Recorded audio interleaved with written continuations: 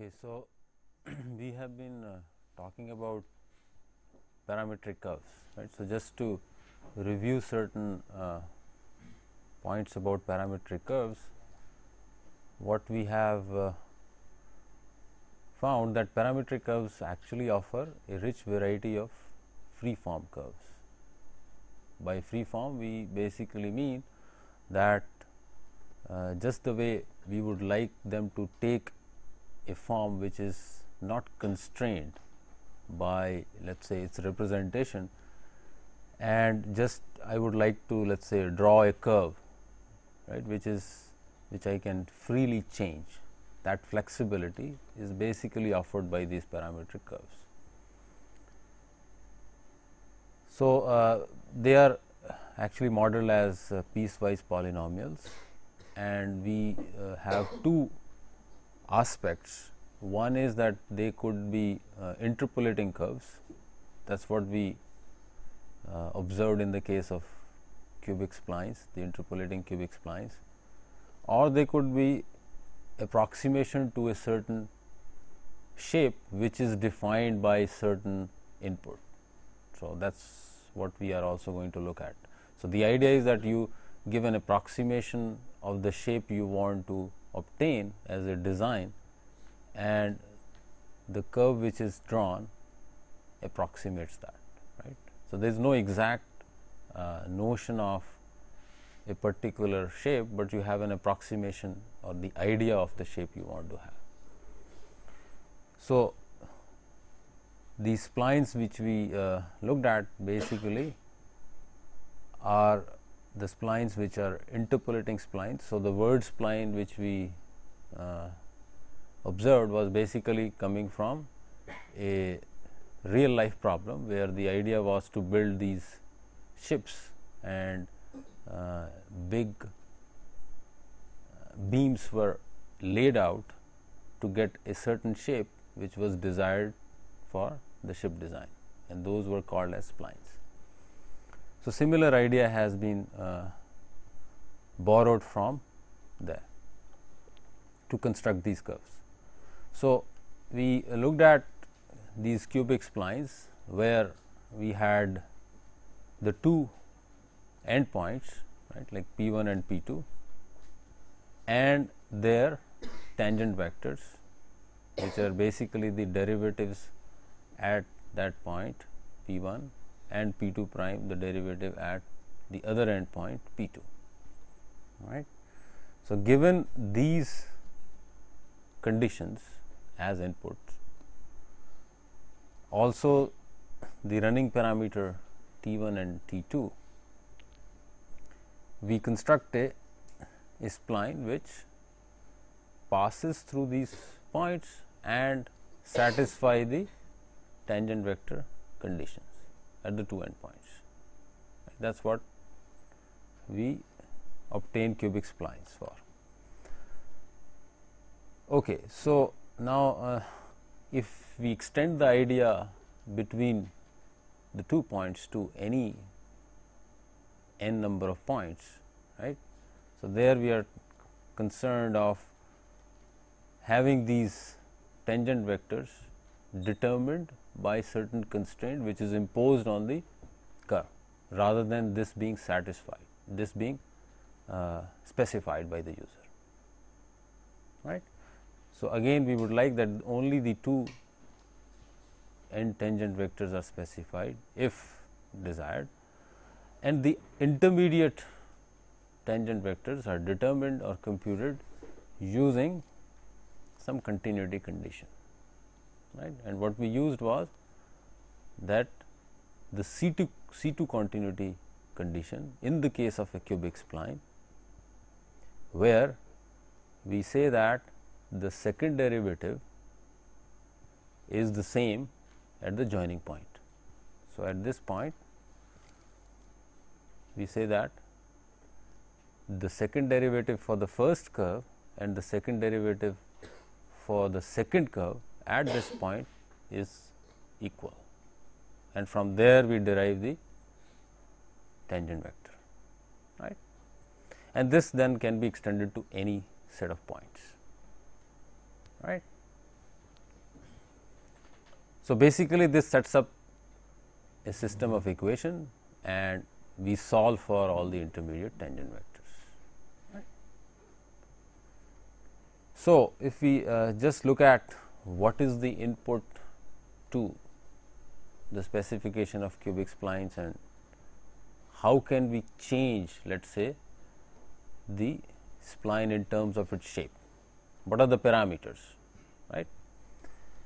So, we observe that the input which is required is a position vector and the tangent vectors right and there is this parameter T k which needs to be supplied right.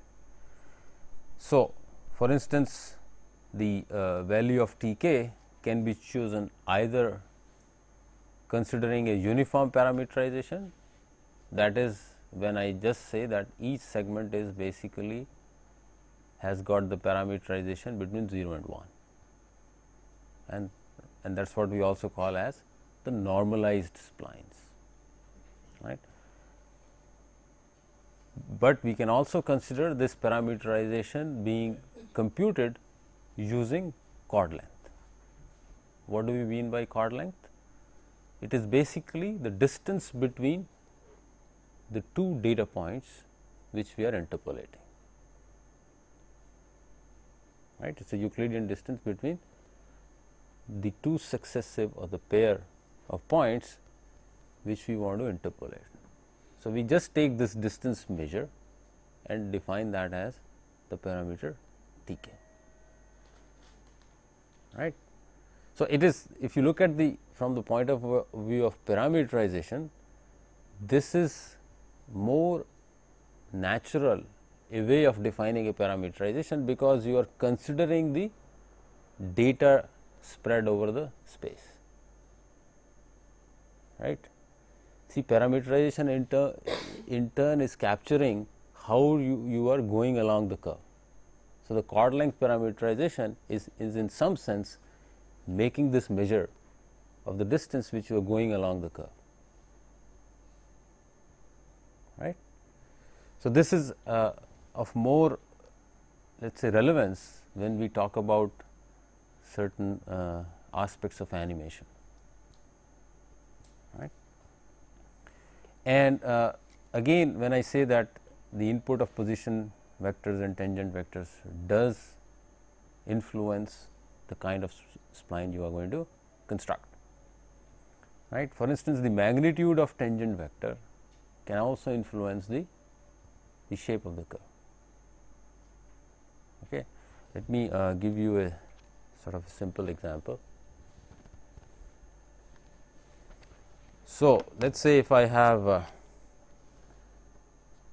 a point P 1 here and a point P 2 here, right. Just consider a spline between two points, right. I specify the tangent vectors as P 1 prime, P 2 prime, right. So, considering that they are in some sense representative of the magnitude of these tangent vectors which I have drawn here, you will get a curve of the kind like this right. Now, let us say I increase the magnitude of these tangent vectors. So, let us say it goes there, it goes there. Okay.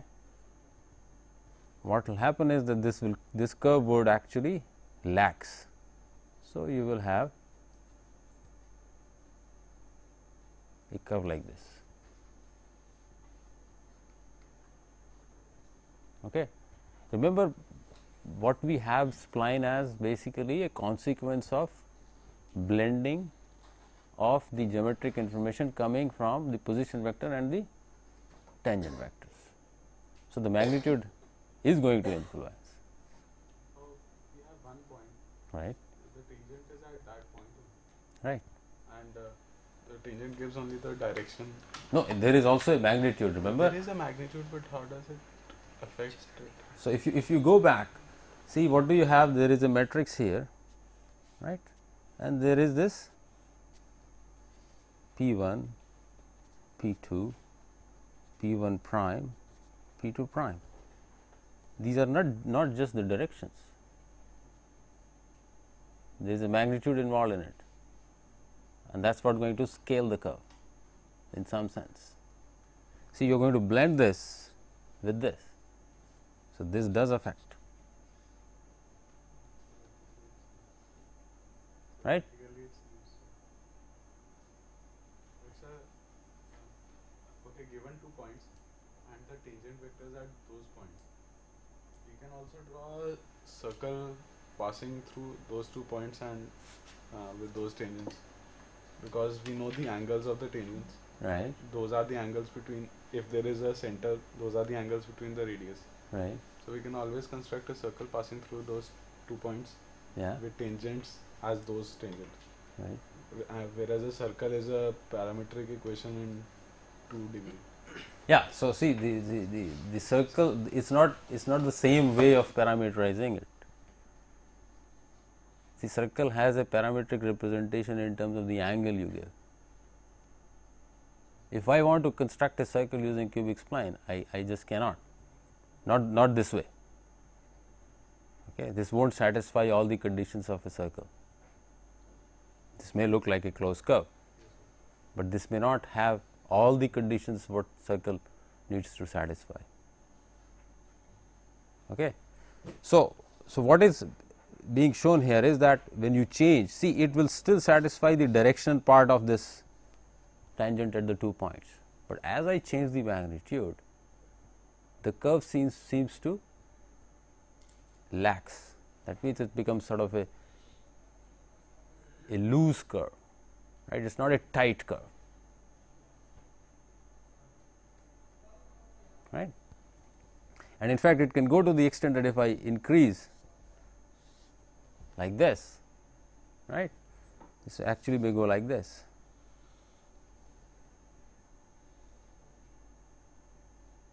There is a loop, right. This is however not affecting its continuity. The curve's continuity is not getting affected right?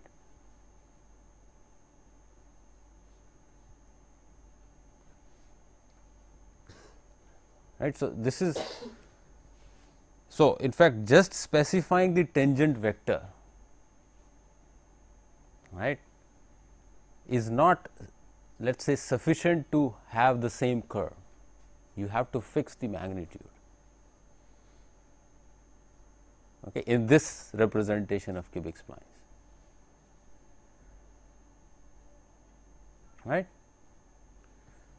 So, what I basically am trying to demonstrate is that there are effect of the input you give in terms of its tangent vector. Right. So,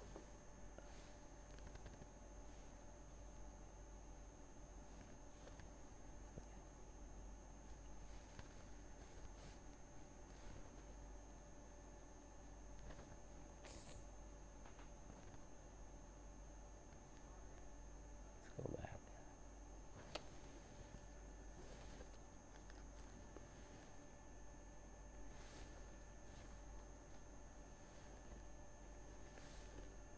Okay. So,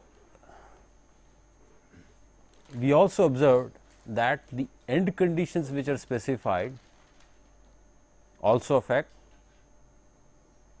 the shape of the curve right it is also a control in terms of the kind of spline you would like to obtain. So, for instance, we observed these are the four commonly used end conditions right. So, if the two end tangent vectors are specified we say that these are clamped end conditions. and that is what we have basically uh, studied so far. If we have the second derivative term at the two ends to be 0, right, then we have what we call as relaxed or natural end conditions. So, remember that this is going to change the, the first and the last row of the matrix from where you would actually obtain the respective derivatives. Right. And we also had seen the cyclic end conditions where we would like to have the two end tangent vectors and their second derivatives at the end to match right. So, this is particularly of relevance when we want to construct closed curves. And there is also a possibility that you have this condition as anticyclic right and we saw the example of something like a racket shape right. So, these are sort of let us say control handles by which you can change or control the shape of the spline you are constructing right and they are always interpolating splines. They are interpolating the data points. Right? Now let's go uh, to a different let us say type of uh, parametric curves.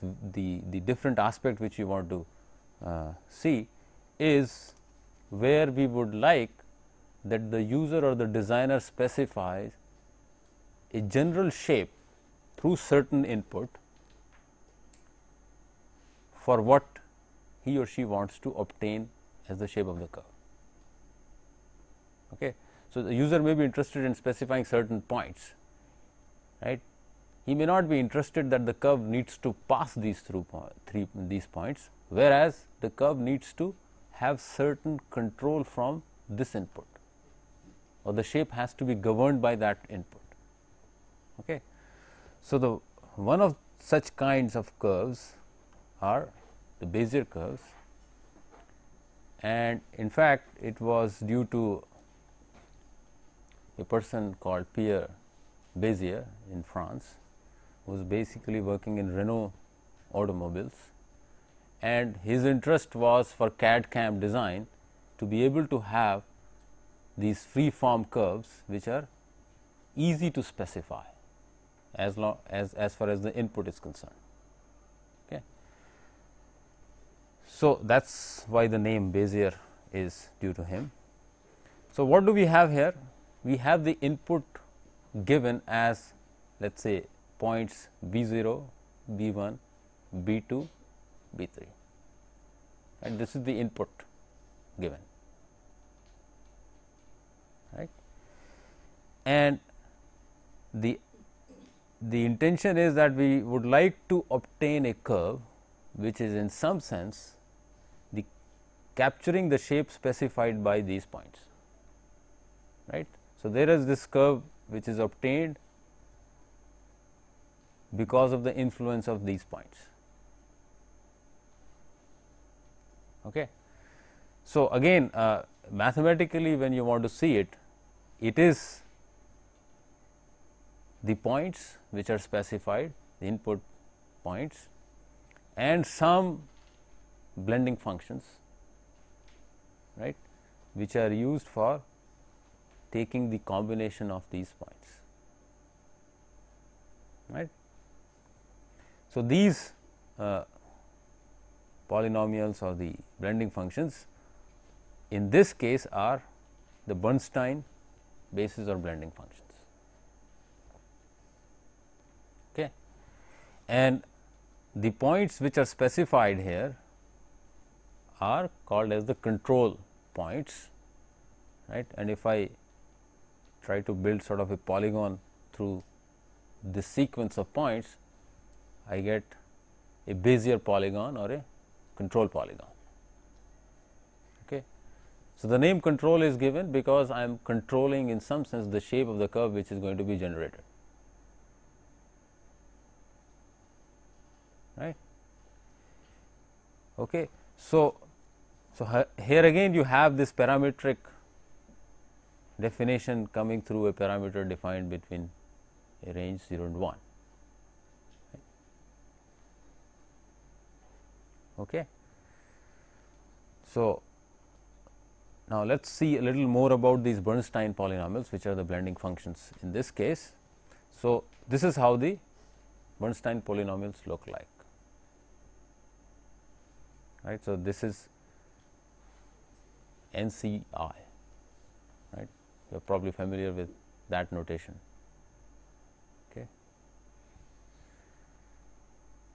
which is this n factorial divided by i factorial n minus i factorial. Okay.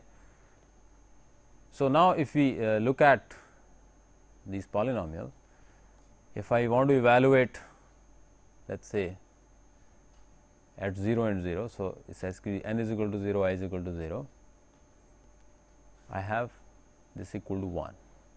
Okay. right? And also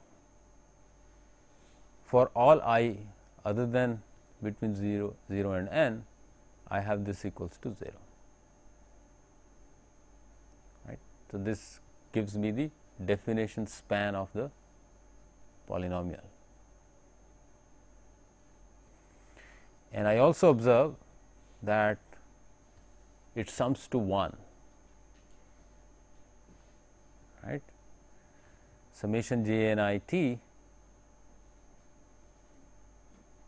for i is equal to 0 to n sums to 1 right. So, this is also a property which is called as partition of unity or unity partition.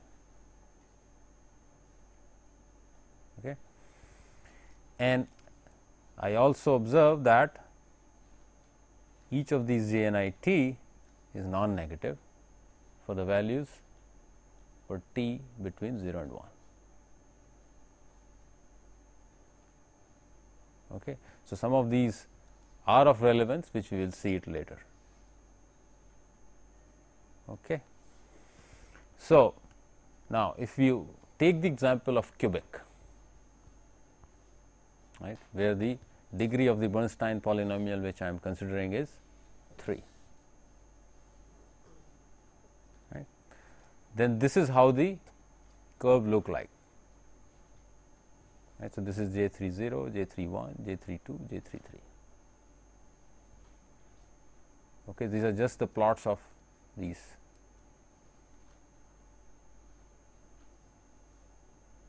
Right and when I define my parametric curve which is the Bezier curve in this case would look like this right. Basically combinations of these polynomials with the Bezier control points right. So, this is how it looks like.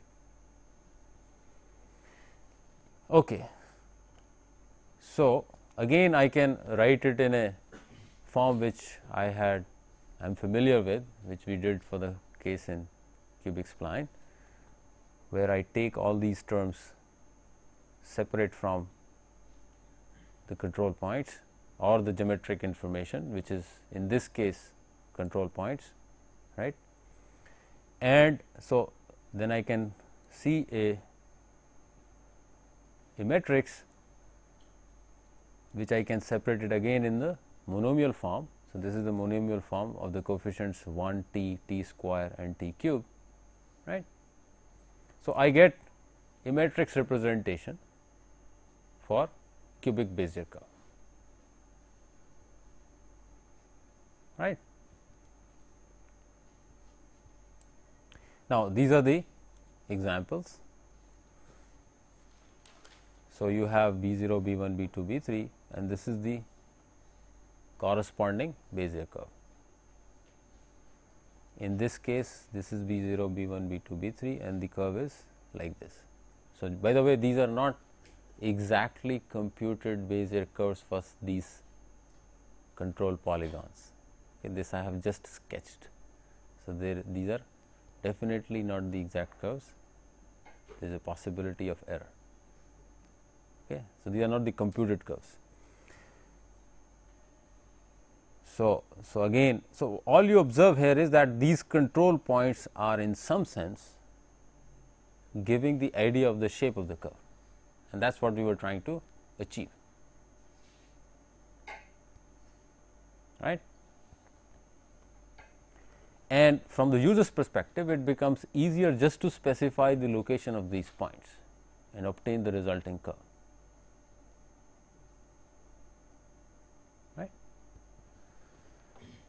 Okay. So, again this is a little bigger uh, curve and the other thing which we notice is that there is a direct correlation between the number of control points of the Bezier polygon to the degree of the Bezier curve which I am designing. Right. Here this was a cubic curve, right. The number of control points I had was 4 and the degree of the curve is 3, right. So, similarly, I have here 11 control points between 0 and 10 going from 0 and 10. So, the degree of the curve is 10 right. So, the degree and the number of control points are directly related. Okay.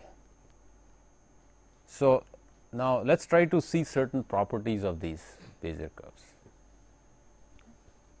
So, the first thing which we observe just by the plots of various curves which we have seen that the Bezier curve interpolates to the end points, the first control point and the last control point, it passes through. right. So, that can easily be seen here. If I just substitute for t equals to 0, what happens to the j and i right?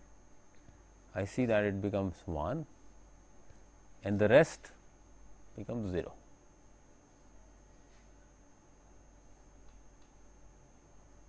right? So it immediately gives us p at 0 as this right all the other terms are cancelled and I get this x b 0 right? It is just a simple substitution. Fine. Similarly, at t is equal to 1 if I substitute for the evaluation of j and n I observe that uh, for i is equal to n this turns out to be 1 and for the rest turns out to be 0. So, again at p is equal to 1 all I get is this right which is B n the last Bezier point. Next, the next uh, property which we are going to look at is the affine invariance. So, what do I mean by affine invariance? It basically says that if I apply an affine transformation to the curve, right, it is actually equivalent to applying the transformation to the control points. Right. So, basically what I mean here is that uh, if this is the Bezier curve obtained by these control points B 0, B 1, B 2, B 3 and I apply some affine transformation to this right. So, the curve would have gone there right. Now, instead if I had applied the affine transformation only to the control points which would have given me the control points as B 0, B 1, B 2, B 3 here, then the curve computed from them would have been the same. Okay. So, that is a useful property right? Because if you want to apply affine transformation to the curve you rather apply to the control points right? Is it fine? So how can we sort of uh, see it more mathematically. So, let us say if I consider an affine map which I define it as phi to some x right. It basically means that I have some matrix A a 3 by 3 matrix in 3 space or 2 by 2 matrix in 2D and there is this translation term here some v right. So, now this x in our case which is the curve right p t is nothing but it looks like this. There are these Bezier points, Bezier control points and there are some some coefficients coming from the Bernstein polynomials. Right. So, now when I apply this to this it basically means this on the right side. All I need to do is just substitute for x this right? And I just uh, rewrite this where I take this a inside right? Just as a linear operator. And knowing that in our case the summation to the coefficients is equal to 1 right? We saw that the summation of Bernstein polynomials is actually 1 so, I just use that multiply this by unity which means summation of alpha is to v right and just rearrange the terms in this way which gives me this which is to say that this is an affine map of VIs or affine transformation of VIs right. So, I can also see the same thing mathematically. fine. The other uh, property which is also of a uh, great relevance is that the curve lies in the convex hull of the control points. So, if I have this basic curve here defined as P t coming from the control points B 0, B 1, B 2, B 3 then this curve is going to reside inside the convex hull made by these points B 0, B 1, B 2, B 3. Okay. So, which means that first of all let us try to construct the convex hull of the control points which will look like this right this is the convex hull all it says that the curve is going to lie within this right and now we will use the the properties of our Bernstein polynomials right if I have to have a point or a curve within the convex hull of these control points would actually mean that the point which is computed uses the convex combination of those points, those set of points or the control points, right. And how do I get these convex combinations? By these two properties, right. Remember that these are non-negative, each of them and then they sum to 1. Okay. So, this gives me the convex hull property, which is again a nice property. Where, where, where do you think you can use this property?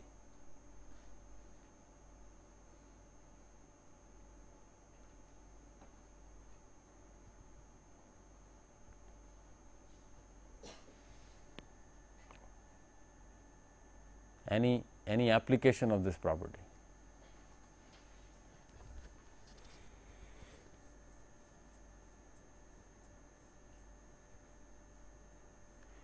Okay. So, I, I give you an example here.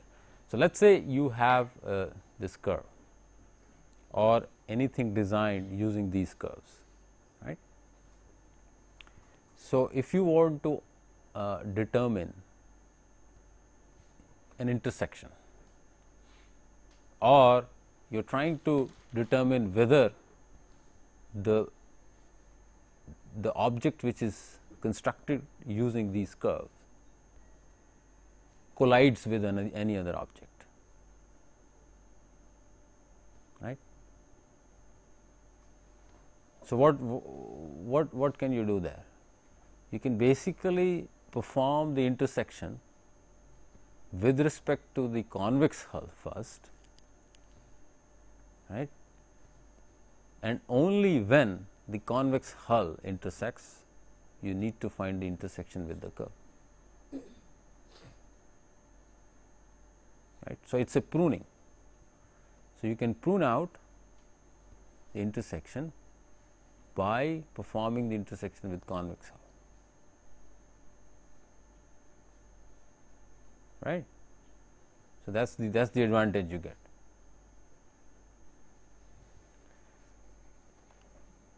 Okay.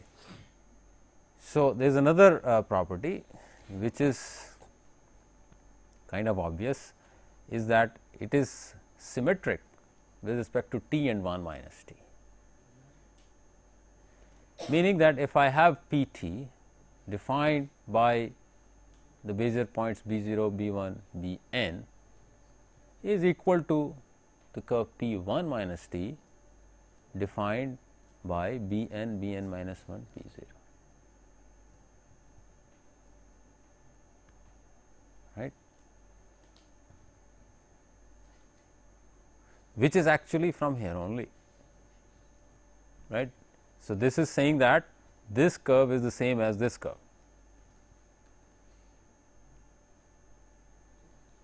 right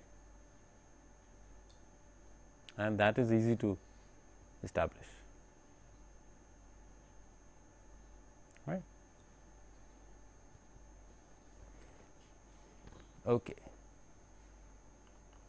The other uh, property is that let us say yeah. So, far what we have done is we have basically looked at the curves which are defined through the parameter t in an interval 0 and 1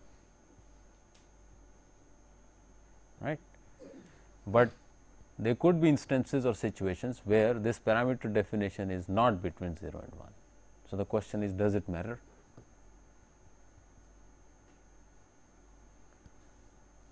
Right. So, all, all we are saying is that in that case I need a transformation.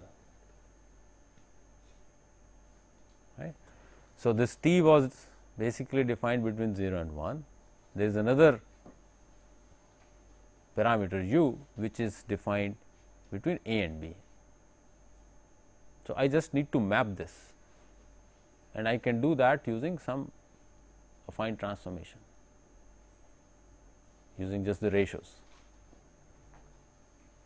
right, and substitute for this then here. Right. So, practically it does not really matter even if I have the parameter defined in a different span than 0 and 1. I can always map that to the parameter between 0 and 1. Okay. Now, there is an, another uh, sort of property is something like a pseudo local control. See, when you look at these Bernstein polynomials, here for the cubic case. What we observe is that this j and i t, each one of them has a maximum given at t is equal to i over n. Right. So, for instance, for this you have the maximum here, right. For this you have a maximum somewhere there, for this you have maximum somewhere there. So, it is 2 by 3 i over n and it is somewhere here right. So, basically it means that if I move a particular control point of the Bezier polygon, right, what is the kind of influence I have to the curve, right. So, in some sense it is telling you that if I move let us say the the uh, Bezier point B 2, the maximum influence is going to be there around this parameter t is equal to 2 by 3 right. So, in some sense it is telling you a kind of a local control with respect to each of the control points I have right. Just by the definition of the Bezier curve we observe that moving any point moving any point of the Bezier polygon is going to change the entire curve.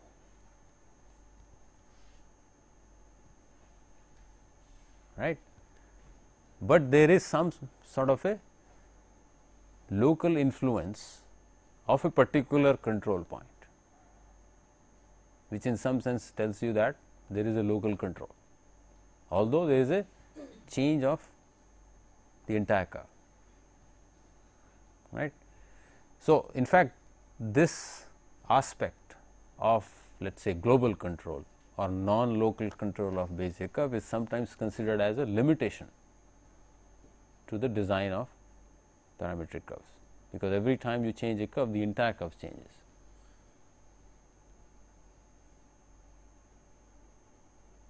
Right. Okay, so, here uh, sort of an example is given. So, if this point is moved right, to this point right. So, the curve which was initially this changes to this right and you see that the curve the entire curve is changing, but there is a larger change to the neighborhood of the parameter influenced by this point which is i over n. Okay. So, this is important to know from the point of view of designing curves. So, as a user you should know that when I am going to change a particular point what is the range of the influence to the curve right. So, this is useful from the interface.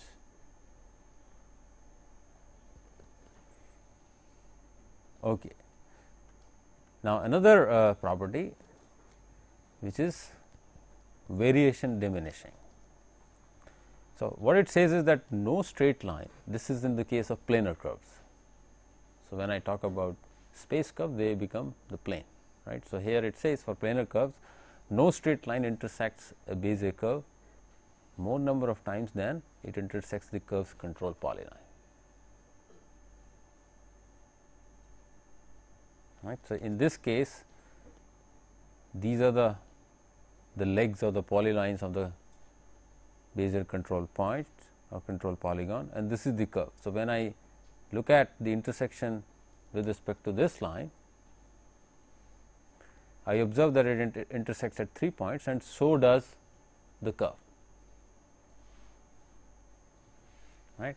But this is the maximum number of times it can intersect with the curve, which in turn says that the kind of twists and turns offered by the various segments of the control polygon right is so sort of a maximum. The curve may follow it, but it will be less than that right. So, the variations are diminished diminished right. And again if you go back and look at the convex hull property right. So, if I have the Bezier control polygon convex right maximum it is going to intersect two times right a line can intersect two times and that is what I will have with the curve maximum. So, it sort of asserts the convexity right.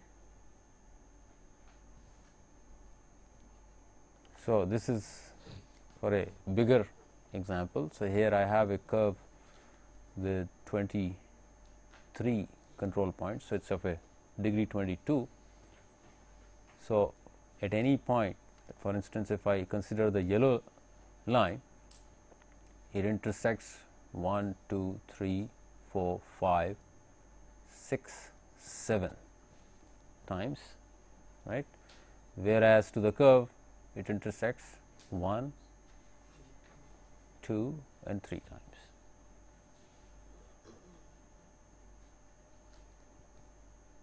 right. Okay. So, uh, now we come to the, the tangent vectors and the derivatives which actually give us the tangent vectors for the curve. So, if I am interested in finding out the derivative of the curve which is just meaning that I differentiate with respect to the parameter t in turn means that I need to do a differentiation of these j and i's right. So, now let us just examine the differentiation of these j and i's. So, if I differentiate this which is basically this. I get something like this right? I t to the power i minus 1 1 minus t n minus i and the second term is this right? Which I can again rearrange and write in this form right? And eventually I get something like n times g n minus 1 i minus 1 minus g n minus 1 i right. So, now when I uh, see the derivative of the curve itself I use that which is this multiplied to the Bezier points b i's right and again I do some rearrangement of the terms and eventually I get this which is n times summation i 0 to n minus 1 p i plus 1 minus b i j n minus 1 i. right. So, all I am doing is some kind of a first difference of b i's right. Now, if I try to evaluate these at the two endpoints, I observe this right which is n times b 1 minus b 0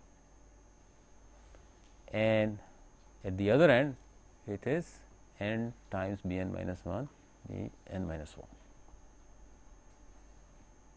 which is saying that the tangent vectors at the ends of the curve have the same direction as the first and the last polygon spans. Right? Just from there.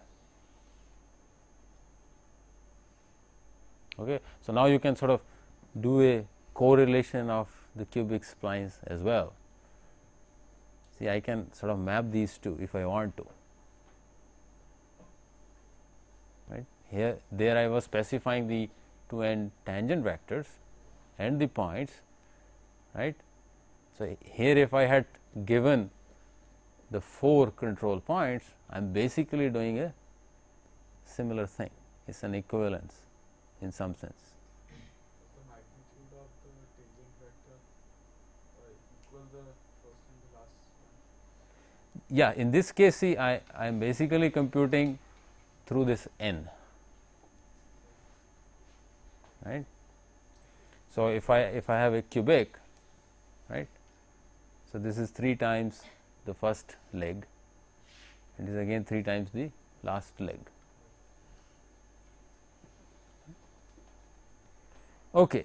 So, now again let us say I take the case of a cubic spline uh, cubic Bezier curve right, where uh, this is my Bezier polygon and I just basically write the first differences as these legs of the poly polygon right. So, this is delta B 0, this is delta B 1 and this is delta B 2. Right. And now, remember that if I go back here, this is my derivative for the curve, which is again taking the first difference and having this Bernstein polynomial of degree n minus 1 right. Now, if you look at this, what do you say about the result?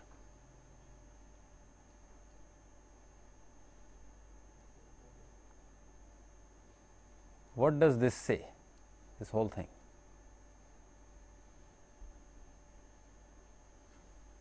What is Bezier curve? This is another Bezier curve. This is nothing but another Bezier curve obtained by this difference. Okay, so, this is exactly what I have tried to demonstrate here. So, if I construct the only thing is these since they are the first differences of the points. So, they are not defined in the Euclidean space they are just vectors. So, I need to define some origin somewhere right which I let us say fix it somewhere here and just plot the the differences first differences here as vectors. Okay. So, this gives me a point here, this gives me another point here and this gives me another point here. These are the three Bezier points right and if I plot now the Bezier curve obtained by these three points that is what my tangent vectors are.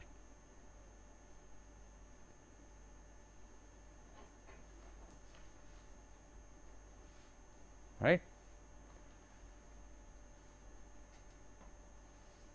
So, the first derivative of the Bezier curve is actually a Bezier curve. Interesting, no?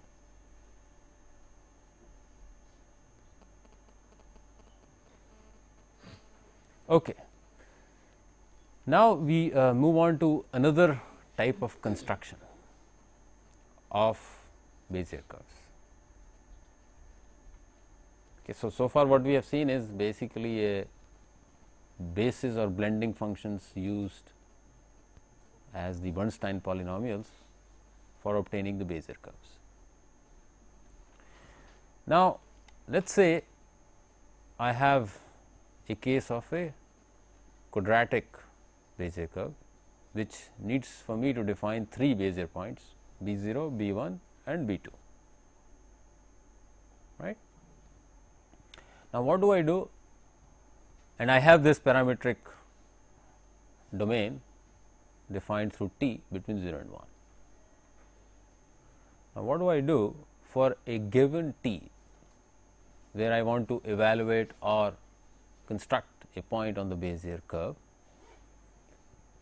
I do a linear interpolation for the legs of the polygon. So, I locate this point B 1 0 as a linear interpolation of B 0 and B 1 through the parameter t right which locates the point here fine. Similarly, for the other span I do a linear interpolation between B 1 and B 2 which locates the point B 1 1 and then I do the same linear interpolation through the parameter t for the leg b 1 0 and b 1 1. Okay. So, basically I do a linear interpolation between these two points and obtain the point b 2 0. So, B 2 0 is a linear interpolation of this. This was if you recall was a linear interpolation of this leg and this was a linear interpolation along this leg. And if I just open these up this is what I get. And what are these? These are the Bernstein polynomials of degree 2. So, what do I get? Bezier curve. So, this B 2 0 point which I obtained after the second interpolation is actually a point on the curve. So, this construction is due to a person called De Casteljau who gave this algorithm of constructing parametric curves which were later on called as Bezier curves because Bezier came only in 1970s whereas De Casteljau came in early 1900s. So, he had already done this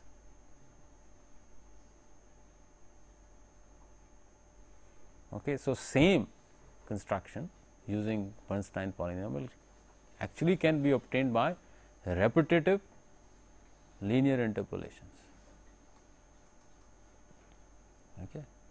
So, let us stop here I will continue on this de Casteljau algorithm and again try to see those properties which we have studied using Bernstein polynomials how do they how do they get they get mapped right Thank you.